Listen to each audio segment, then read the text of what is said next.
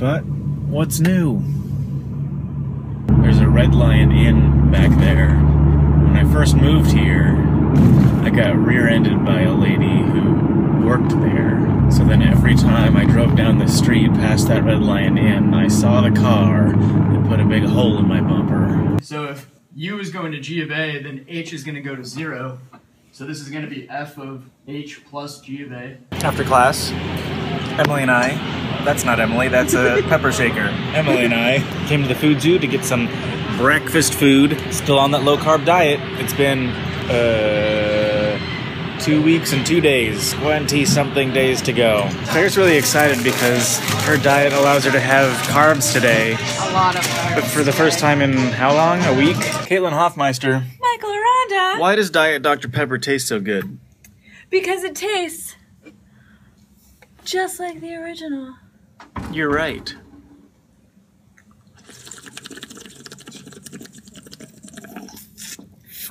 Stefan was just curling these freaking water things. I can't even lift it with one arm. You can't lift it with one arm. Oh. The- you broke your elbow. Ow. I bit my lip. Injured. We're gonna go on a hike to the M. Mmm. Mm-hmm. Mm-hmm. Mm-hmm.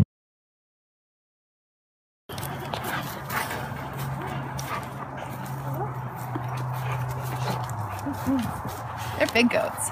You're in your element amongst the animals. Hi. I'll keep this. Hello. Michael Gardner invited us to dinner at his place this evening, so that's why we're out here with all of the animals. Oh, there's a kitty. Hi, kitty.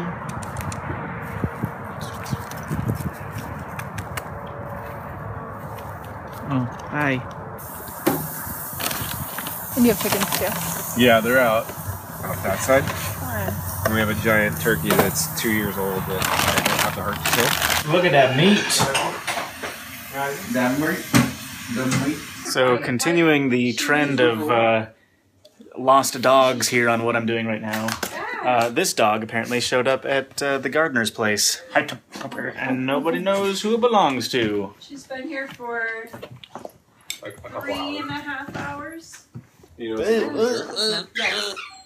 Really wanted in. That's so weird. Well, she's probably more of an indoor dog. What is your name? Why here? moving. Whoa. Hey, Claire. Hey, Michael. By the time people see this, this will be like 14 days ago or something. Right. um, but for me, it's a video that I just posted uh, a day or two ago. Um, you and I were going to Cafe Dolce for lunch, Okay. and you had commented, I think before I started filming, about how you thought you looked like a ragamuffin. Yeah. And then in the video, I used the word again, and then you used the word again. right. A friend of mine, Raven, commented on the video and pointed out something that I had no idea of. What? Apparently, ragamuffin is uh, a racist term. Is it really? oh god. Apparently, yes. Oh no. Um, I had no idea. it's it has something to do with um, the the culture surrounding reggae music. Oh. kind of in the same way that um, white people used the word nigger to uh, oppress black people. Um, there was something similar around the word ragamuffin and similar to the word nigger, the way that um, black culture sort of uh, then embraced that word and used it as their own. They, they commandeered it away from the white people. Um, was something similar that happened with the word ragamuffin. So I, uh, after she left this comment, I went back and I, I read the Wikipedia article or some kind of I don't know if it was Wiktionary or something, some article somewhere on some webpage about it, and I was like, oh, interesting. Well, Maybe Oops. maybe not saying that word anymore would be good. Okay. Huh. I apologize. I didn't know that. That's just.